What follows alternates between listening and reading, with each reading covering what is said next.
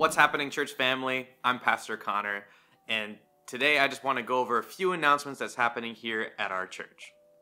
The first thing that's happening on our list is that on November 14th at 6:30 p.m., Club Chip is having a community plant-based potluck.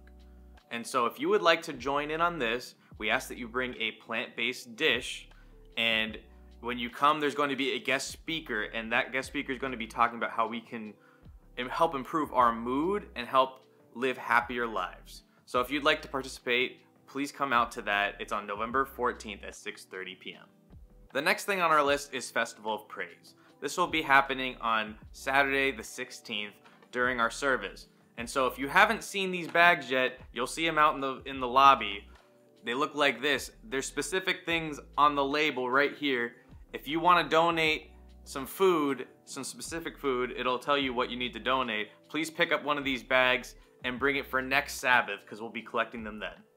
Just a general announcement, if you have not joined our texting service, please join our texting service here. You'll see that there's a QR code here and you'll receive text message updates from us so that you'll know what's going on here at Fort Myers Church. Also happening next Sabbath is after the service, we are having a potluck. It'll be in the fellowship hall right after church. So please bring these items that you see on the screen. We will be having haystacks. Well, that's just some things happening at our church, but if you'd like to know all the things that we do here at Fort Myers Church, please look at our Linktree below.